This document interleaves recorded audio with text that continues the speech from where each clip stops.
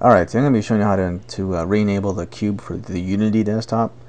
So uh, I've been kind of hesitant to make this video mainly because uh, you know if you screw up, you can there's a possibility you're going to lose all your data. If you're if you're running Wubi, you know for instance, because you know you, with with with a standard install when you partition your drives, if you use a, a live CD, you can still gain access to your data and you know pull it out. But Wubi, I don't. From what I know, you can't really do that. So if you're going to attempt to do this, uh, make sure you back up all your data. But um, anyways, right now I'm I'm, on, I'm in the uh, Ubuntu. Uh, oh, what is this called? The the desktop without the effects. So pretty much, if you screw up, this is where you can end up at. Like this is where I kind of want you to be at when you when you uh, actually uh, if you fail, I guess I should say. So um, to get to this point, you you really need to do this. All right, uh, go to your administration I think it's login login screen. Um, unlock it you know with your password. And uh, it should say uh, where's it at? Right here where it says login automatically or whatever.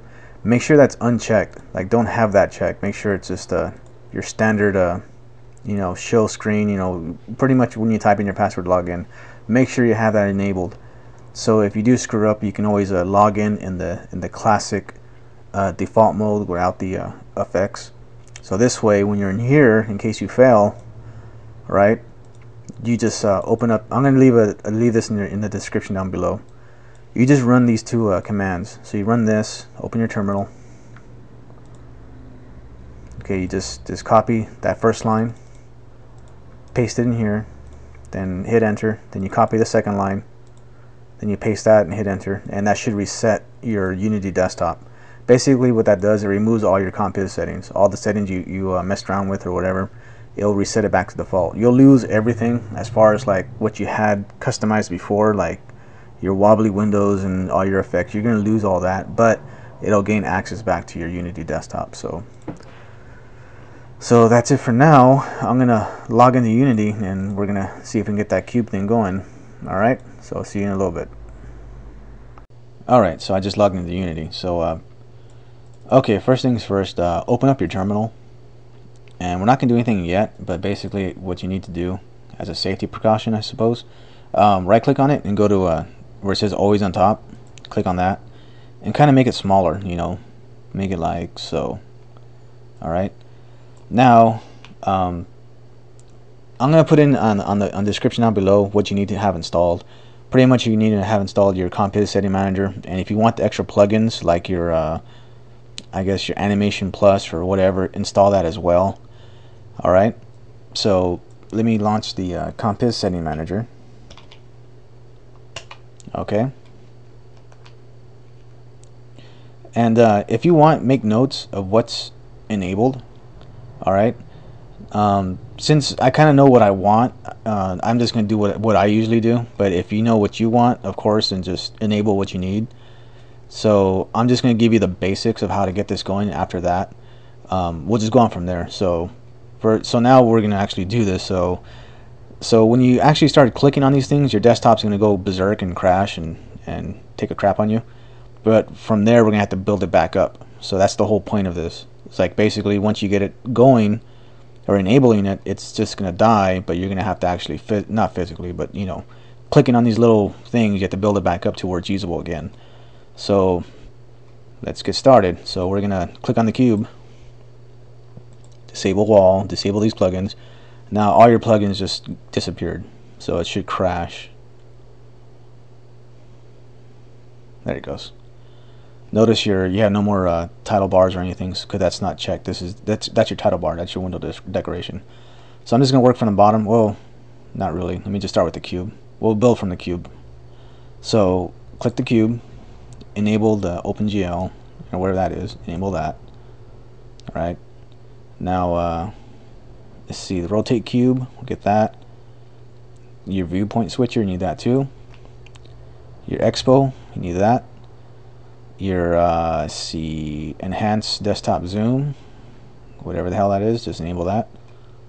Alright. Your GNOME compatibility thing go ahead and do that. Right all your animations if you have those installed click on that. Enable animations. Enable whatever that is. Enable your 3d windows. Also your decoration for your title bar so you can grab and move it. Alright well that that'll just add your title bar but see I can't move it. I can't grab it. So to, in order to do that go to the bottom where it says move window click on that. Now you should be able to move your windows. And this is also for resizing as well. See I should be able to move it now. Now I can move it. And this is to resize. So you can actually you know do the little resizing thing. Alright uh, I think also scale is another one that I use. Okay. And uh, the grid. Will en enable that. I'll show you a little trick with that later. Okay so we got all this kind of enabled up and going. It's not ac actually running yet alright? But um oh and the last thing not the last thing but uh where it says general click on that. Desktop size put that to 1 where it says uh, vertical. Horizontal set that to 4 okay now we need to go back a step. Now for the last thing right here it says unity plugin. Click on that.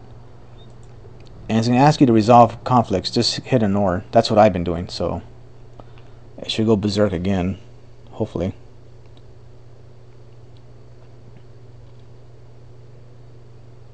Okay now in your terminal we're going to type compiz dash dash replace. C O M P I Z space dash dash replace oops P uh, I'm doing this one-handed. Sorry, let me uh, try this again. Sorry. There we go. Sorry about that. Now hit enter. And uh, for you guys, when when your uh, when your screen actually reappears, uh, just log out immediately. Just log out and log back in. But for me, since I'm recording, I have to encode this video. So right now, log out. Alright, so now I'm back into my desktop and I just want to show you that the cube does work and uh, you can still flip it around, right? Um, I did some tweaking already. I just want to show you how I, what I did because I'm, I'm, I'm pretty sure I'm probably going to be running out of time. So, uh, alright, to get the cube to flip immediately like this, go to, where you at? Where are you? There you are. Rotate cube. Go there where it says additional settings this upper one right here where it says flip time, set that to 5 and it should fix this little problem. Because when you do it the first time around, it's going to be really slow. So that, that fixes that. Alright. As far as your, uh, your uh, what do you call it, your snapping feature, okay, you know, your, for your windows to, you know, to snap to the left or to the right, if you go up, it works fine. If you go to the top left, it works. If you go to the top right, it works.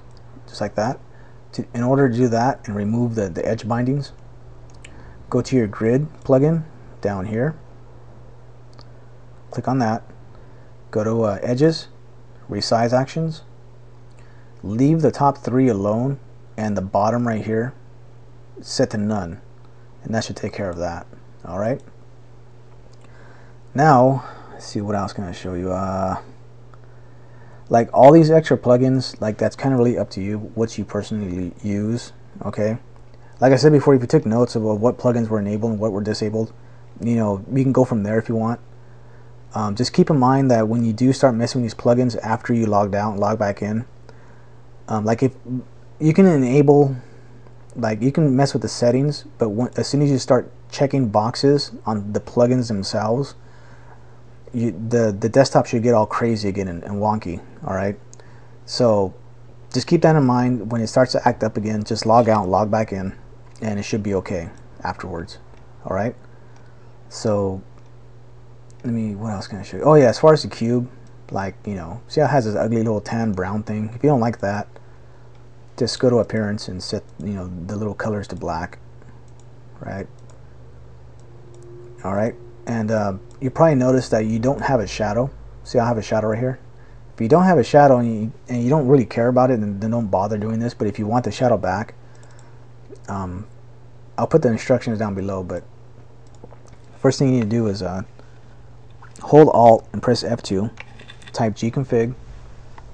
I already have it in my history, so I'm just going to click on it. All right, where are you at? Go to Apps, Compiz, General, Screen Zero, and go to Options. All right, so right here, it's going to say Active Plugins, right? So right click, Edit Key. Now, where it says, uh, where this little section right here where it has all these little, uh, you know, core and whatever, you're going to click Add and you're going to type img png all lowercase all one word. And uh, just to give you a warning because I couldn't do this while I was recording because it crashed my desktop recorder but just to give you a warning when you hit OK it's gonna it's gonna totally crash your desktop again right? But, but, but before you press OK make sure this is on the top like when you add it it's gonna be at the very bottom so you have to click on it and click the up button right click it up all the way to the top then when you hit OK, it's going to crash your desktop. Hold Control, Alt, Delete, and use your arrow keys to select Restart. And when you restart your system, you should have the have your uh, what do you call it, your shadow back. So, like I said, if you don't want it, you know, don't bother. But anyways, I think I'm running out of time already. So, uh, so yeah, like I said before, you know, the rest of the the settings are kind of like up to you, what you want, what you don't want. So, if you have any questions, feel free to ask. And I'm testing this on Intel hardware so it might be different for for Nvidia and ATI guys so I don't know. If you have any questions like I said just ask. So uh, see you later